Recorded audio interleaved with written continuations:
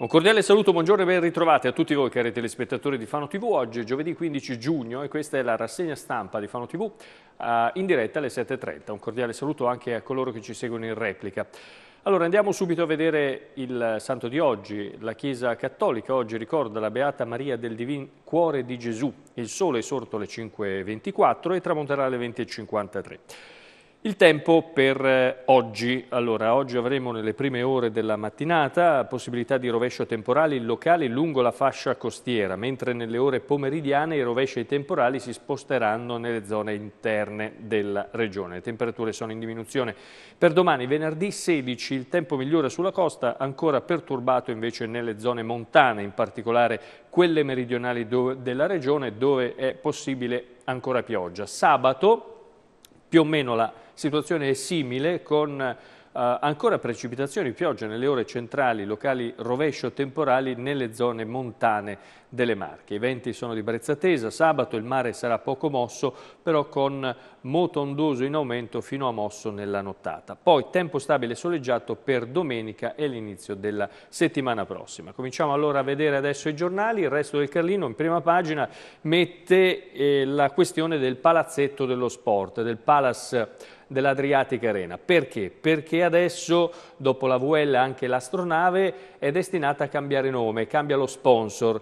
Eh, si sta trattando con una società dell'Unipol SAI, la MyGlass, che è in pole position per l'intitolazione appunto di tutto eh, l'Adriatica Arena. Poi si parla Ancora di noi, si parla di Fano TV, si parla del rogo a Fano TV di quel eh, del marzo scorso, perché è stata depositata la perizia sui telefonini delle persone indagate, la difesa dice non c'è nessuna prova, quegli sms esplosivi sull'incendio. Adesso lo vedremo tra un istante. E intanto eh, Belloni replica sul corso a Pesaro, i lavori a giugno, responsabili sono proprio gli esercenti e poi Piero Guidi a Urbino, l'azienda di vendita ottiene il concordato. Ma dicevamo di questa deposizione della perizia sugli sms. Sapete che sono stati eh, presi i telefonini eh, degli indagati, eh, il perito, l'esperto perito della procura ha eh, verificato tutti questi telefonini, ha controllato eh, tutto quello che c'era dentro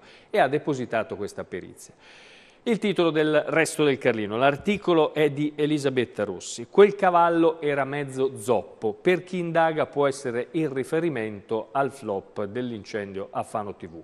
Eh, oltre 200 pagine di parole scritte e dette al telefono, trascritte appunto da questo consulente della, eh, della Procura. Eh, comincia così l'articolo eh, Elisabetta Rossi, vedrai che botto, tra non molto scoppierà una super bomba, allaccia le cinture.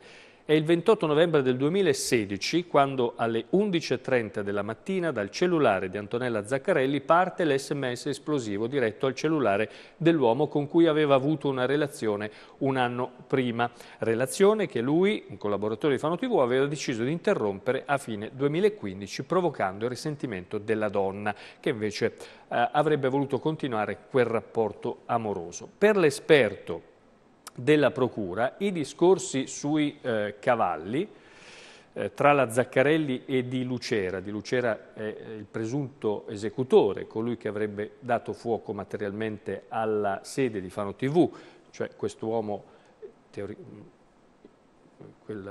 sarebbe l'autore materiale, chiaramente non è detto che sia lui, c'è questo processo, per cui eh, sono tutti innocenti fino a prova contraria. Quindi, però questo è quello che racconta il giornale questa mattina.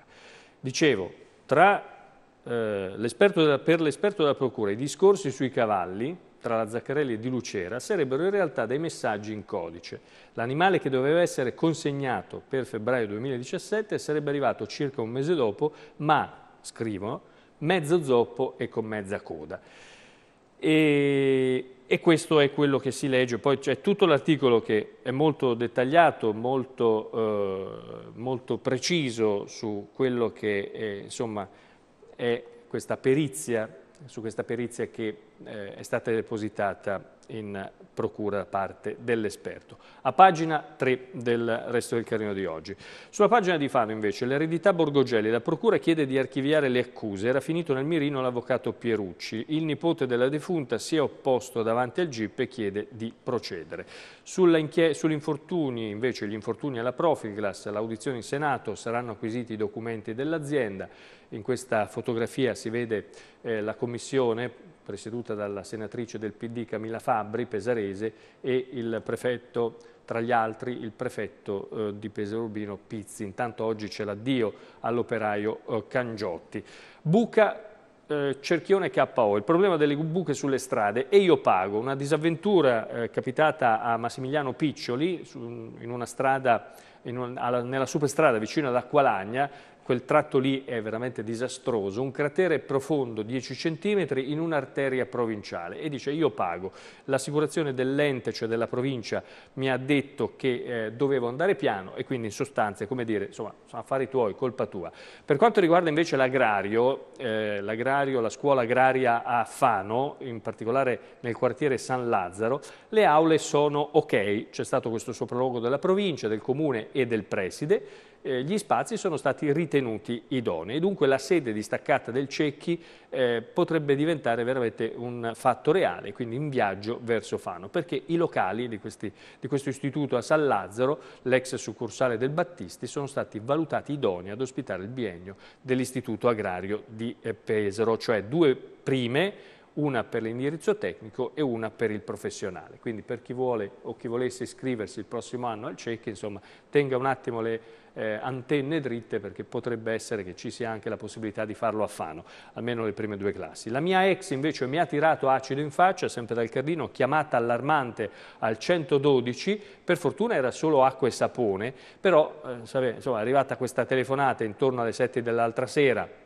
eh, da parte di questa donna che ha detto mi hanno lanciato dell'acido in faccia e insomma capite voi eh, un attimo eh, un brivido è corso tra i carabinieri di pattuglia che sono andati subito a soccorrere questa donna, però la donna mh, insomma, alla fine eh, non, non, aveva l'acido in faccia, aveva semplicemente bruciore agli occhi perché insieme all'acqua c'era del sapone e quindi ecco il motivo del, del bruciore. Ad aver gettato nel panico e quindi ad aver gettato l'acqua in faccia a questa donna una 37enne ex convivente.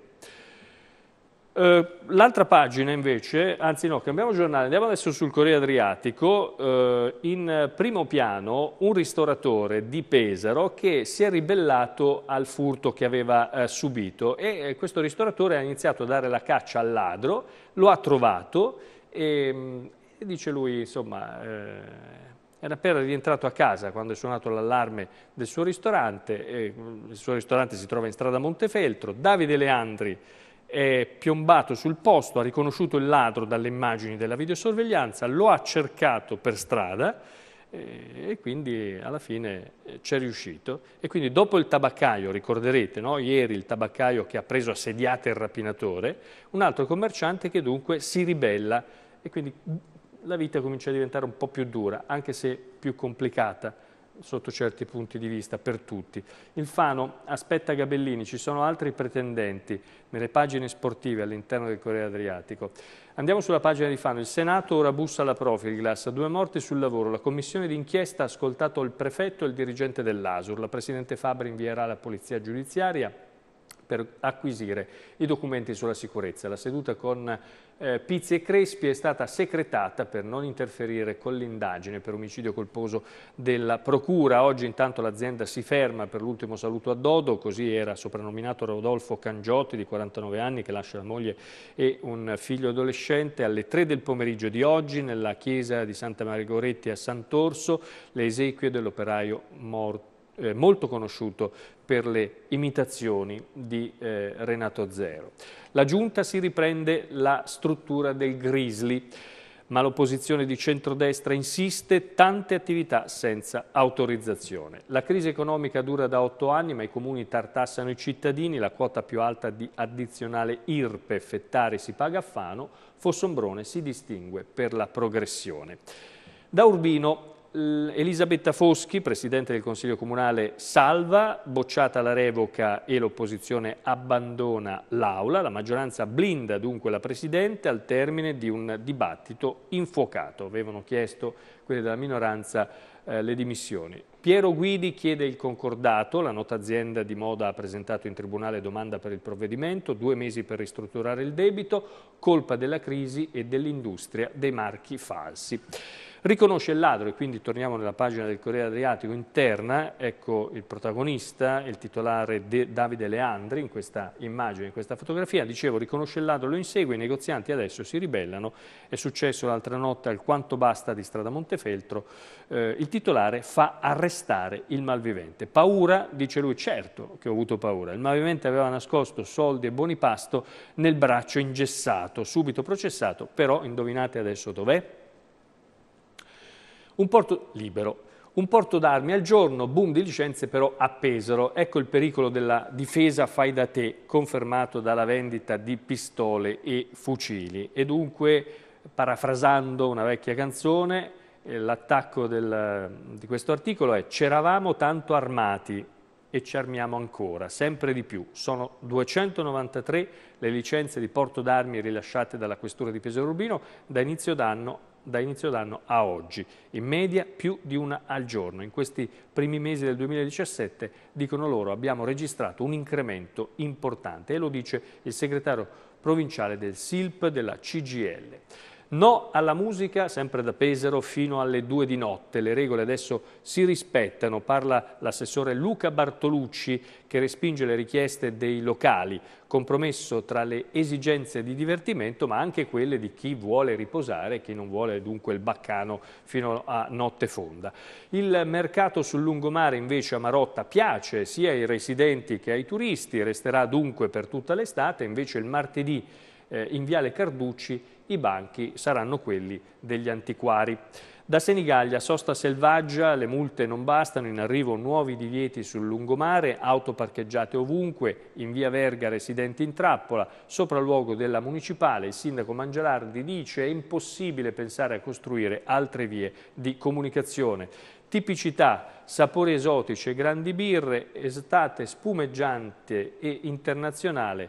E questo è l'altro articolo che troverete sul, eh, sul, rest, sul Corriere Adriatico, ma in realtà eh, avevo salvato questa pagina per non tanto per la birra ma per questa girandola dei parroci che sorprende i fedeli. Nuove sedi per nove sacerdoti, trasferito anche Don Giancarlo Cicetti e sappiamo benissimo che quando c'è il valzer dei parroci nelle diocesi succede sempre il finimondo, e i fedeli che si arrabbiano e quelli che vanno dal vescovo e su e giù, insomma bisogna anche eh, obbedire, come dico sempre, no? quindi eh, alla fine eh, è giusto anche che sia così. Poi che dispiaccia è un altro discorso. Noi ci fermiamo qua, la rassegna stampa torna domani mattina alle 7.30 naturalmente, noi questa sera invece ci rivediamo alle 20.30 per il telegiornale Occhio alla notizia. Se vedete qualche incidente, qualche segnalazione da fare, continuate a mandarci foto, video e quant'altro. Ricordo che c'è sempre per le segnalazioni eh, quelle più importanti e per chi arriva prima, soprattutto nella segnalazione, c'è sempre la ricarica di 5 euro che anche ieri abbiamo effettuato a qualche nostro telespettatore, insomma un modo per dirvi grazie. Eh, ed è tutto, ci vediamo stasera, grazie.